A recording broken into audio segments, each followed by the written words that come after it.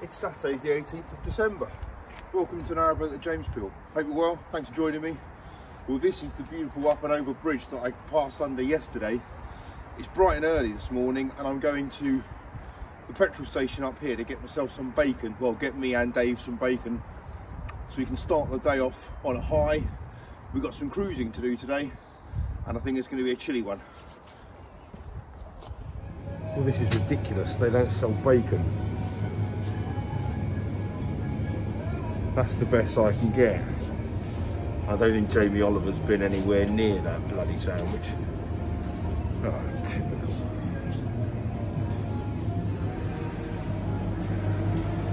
Be one of these things. They're also a bit horrible.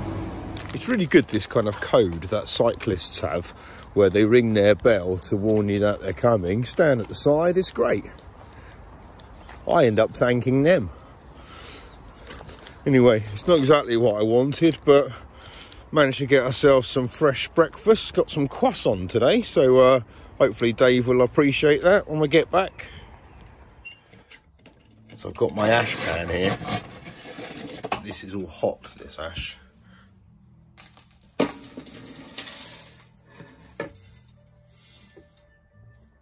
Creates a little bit of dust, I won't lie.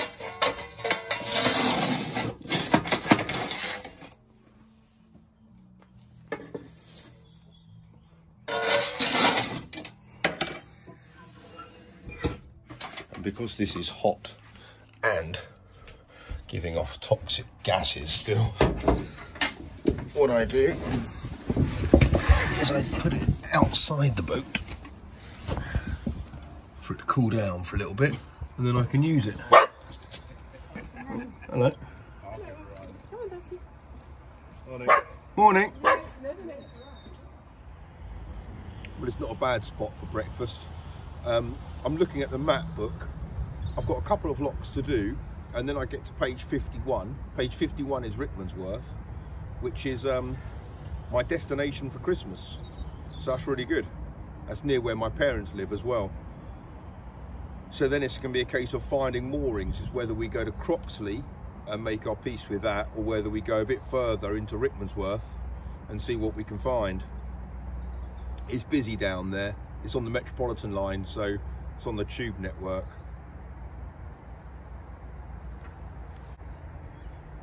Right, let's go.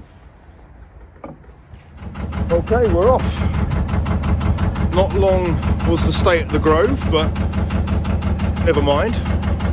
When I come back, kind of early in the new year, I'll stay a bit longer. But definitely next summer, I'll stay a couple of weeks here. The only problem is, for me, it's not very good on the older uh, EE mobile signal. So last night's video took about an hour to upload. Celebi. Right, there's a lovely mill house coming up just round the corner. Dave's waiting for me at the next lock. Happy days. Look at that. That's a beautiful property. What a lovely property.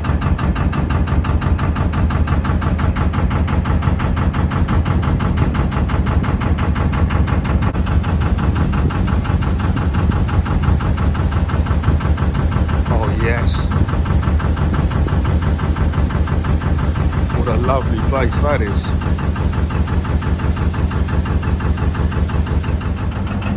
Right, another right angle turn coming up here.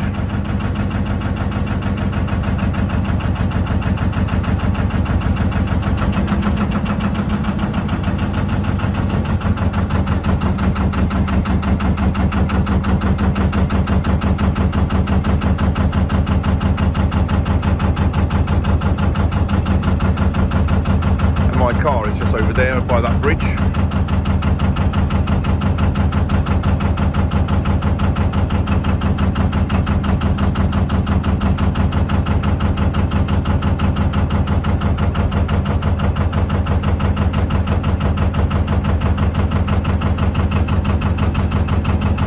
Hopefully there's no Narrow boats coming.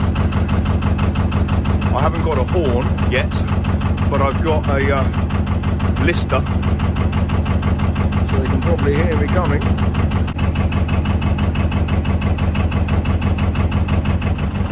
Just going under a nice timber-built bridge, 166, and straight ahead is Dave on narrowboat Furbob, and he's set up a lock. So I can go.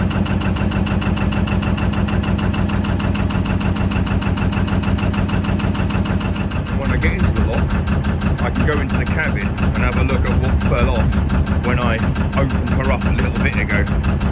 Something slid off a counter. I'm usually pretty good at taking everything off that might break or leak or anything like that, so I'm curious as to what it is. Okay, that's lock 75 dealt with. I'm leaving Dave to tidy up the lock. I'm going to go down and set up lock 76. And these are the two Cassiobury locks. And it was the fan that fell off the stove, um, which uh, has happened before. Well, this pound is looking a bit shallow. So I've just got to lock 76, Cassiobury Park lock. It's empty and you'll see that the paddles are up. That's because there's a sign there saying to leave them up and leave the lock empty because the lock leaks. So when the lock is, if, this, if the lock was constantly full and this wall leaks, it leaks and floods that house. So they ask for the water level to be kept at the lowest level, kind of as often as it possibly can be. Dave and I are a little bit curious. This lock is taking a long time to fill up with all paddles open. That pound behind us, which is quite small, has dropped by nearly a foot. But this one just doesn't seem to be filling. And obviously it leaks badly. It's a question of how badly. The levels aren't too far away. But it's taking forever. Right, Dave's now walking back up to that lock up there to open up the top paddles which were open when we came down to try to put some more water into this pound here before our boats hit the floor. You can see you can see the gates and the paddles, the wall paddles really clearly, which you don't often see. Okay, you can make out there that Dave's just let some water through. I've just been to check on my boat and she's still floating, but the levels are low. So this will help get the pressure right so that that eventually fills up. I think actually that is going down. It looks like. Right, Dave's letting even more water through now. The levels have dropped even further. This is actually getting a little bit worrying.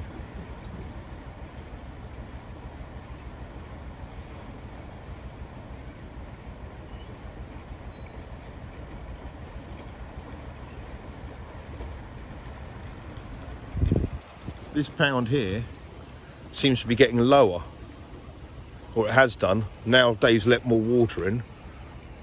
See what happens. It just doesn't seem to be rising at all. And there's so many bubbles coming through the sides where it's leaking. Well, that's why this lock isn't filling. There's way more water coming out than going in. This is a nightmare. Okay, my boat's now grounded. Oh my God, this has been a nightmare. Dave's gonna go and see if he can somehow drag me out of this, but he's tied his boat up, so I don't know what he's gonna do. The levels are really low. Just hope we can get into that lock and close the gates before or whilst there's some bloody water left. Blimey, that was a really scary experience. My, I could see the, I could see the swim of my boat. Um, that pound totally drained. I could see the, well, not totally, obviously, but I could see the swim of my boat. It was resting on the rudder and on the hull. Oh my word! Ran up here, open up all of these paddles. We forced the gates down there. Some massive lads were passing at the time, which was rather helpful. So I'm going to close these ones now we've raised the level a bit. Get down through that lock and get the hell out of here. Well, it's nice to be out of that lock. Um, this feels a bit strange to say, but it feels really good to be floating again. Man, seeing the swim and the rudder not in a boatyard is nothing short of horrific. Bloody hell. If it wasn't 10 o'clock in the morning, I'd have a stiff drink after that.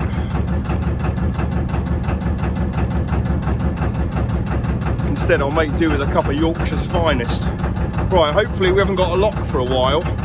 This pound looks a lot better. So, in terms of water level, so I think we're through it.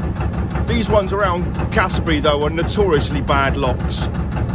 They need a lot of work doing to them.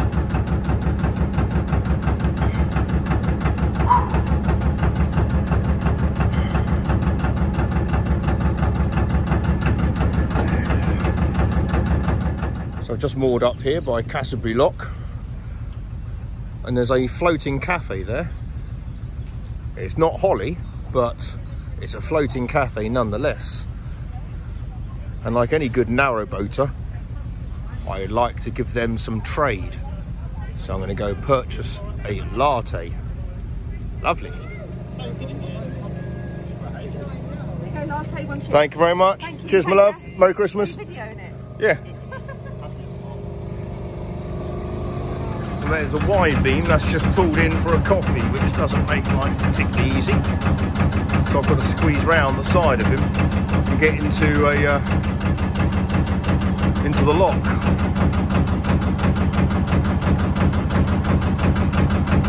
And there's someone waiting to come up the lock once Dave and I go through it.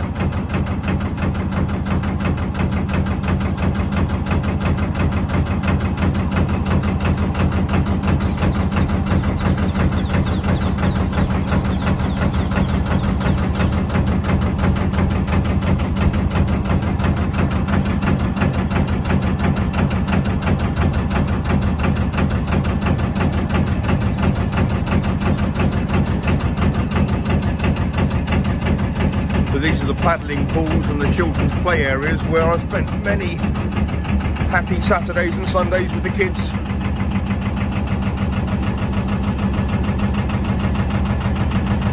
Right, hopefully this will be less of a stressful lock than the last one.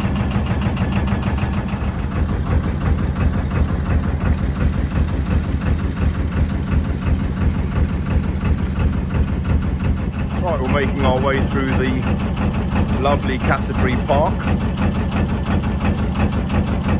And depending on the time of year, solar's actually not so bad around here. So the plan is to carry on through Croxley. We're coming up to, um, I think it's P&S Marine, which is the, uh, there's a boatyard basically coming up down here on the left hand side soon. And then there's a couple of locks and into Croxley. So maybe get there for just after lunchtime will be the plan. I saw that pile of rubbish on a post on Facebook recently and I mentioned it to a scrap dealer who uh, went and took picked up all the scrap metal so kind of half the size now. Right, straight ahead in the distance is that blue bridge and that signifies we are going underneath the Metropolitan Railway line and that is the stretch between Watford Met and Croxley Green.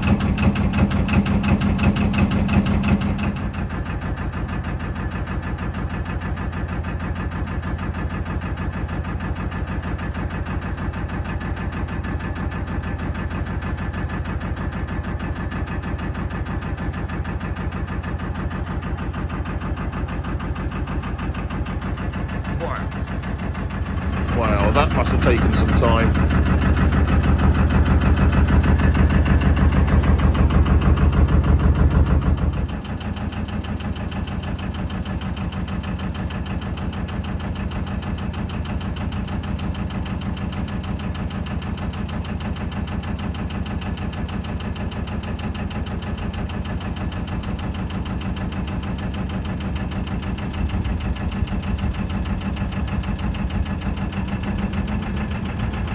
Oh, happened? I've just lost drive.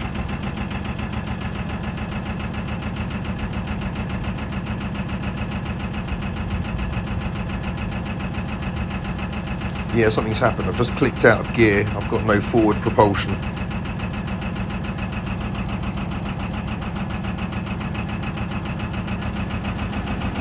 today just goes from bad to worse. I've now lost all drive, both forwards and backwards. So I've just pulled the boat over. Dave's over there, pulling his over. I'm on a water point. There's nowhere to moor around here. We're on a lock landing as well. The only slight advantage is that there is a marina or a boatyard, literally just on the other side of that lock. Right, let's see what I'm dealing with now. Right, just start it up. You can see that the prop shaft is spinning, but the coupling isn't.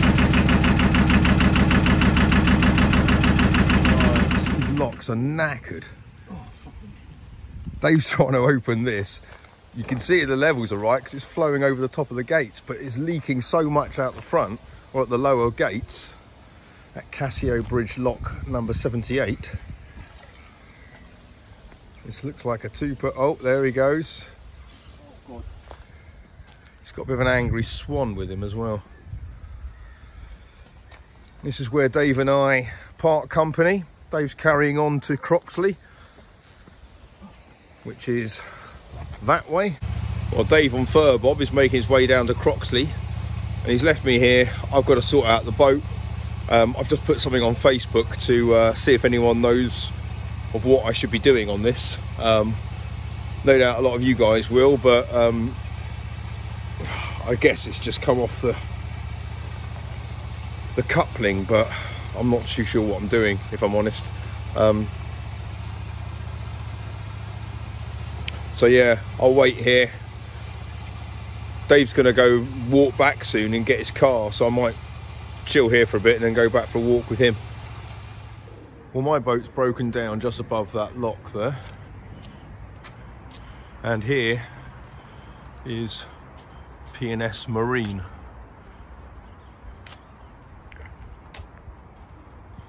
So they've got kind of a small marina there. But importantly, they've got workshops over there and a slipway in case I need it. I've just spoken to Tom who's one of the geezers in charge and he said he's got someone else there called Ralph to give me a call so that'll be the plan and I guess it's um, a couple hours of pushing and pulling to get the boat down here and they've also got a crane let's hope I don't need that well, as you can see, I'm back in the car. I've had quite a few people respond to me on Facebook saying that it looks like that the prop shaft, um, the key part has come out from the coupling. Um, my basic questions are, can I fix this on the cut or does it have to be taken out? And they said it all depends on whether we can remove the prop shaft through the weed hatch uh, I'm waiting to hear back from uh, a couple of the guys at the marina um, near where I've broken down um, and hopefully they'll be able to help. But otherwise, um, you know, and in kind of what kind of time frame they can help, goodness knows. It's now, well, by the time I speak to them, it'll be Monday. Um, that's Christmas week. Um, so it's not ideal. And also the place where I am, currently um, is not ideal as well. Um, it's I think I, I, don't think I'm actually on the water point, but I'm pretty close to it. Um, I mean I've broken down, so there's not much you can do about that. But it's not ideal. Um, oh, just such a bad day. and then uh, so there's this whole unknown now as to what this is going to be. Um, and earlier on in that lock, I mean, on one hand, I can be thankful that the boat's floating and then it's all right. It's just a prop shaft that needs to be fixed and a new coupling or something. Hopefully the gearbox is all right. Um, but compared to earlier, I kid you not, um, Dave and I were both saying we both nearly lost our boats in that pound.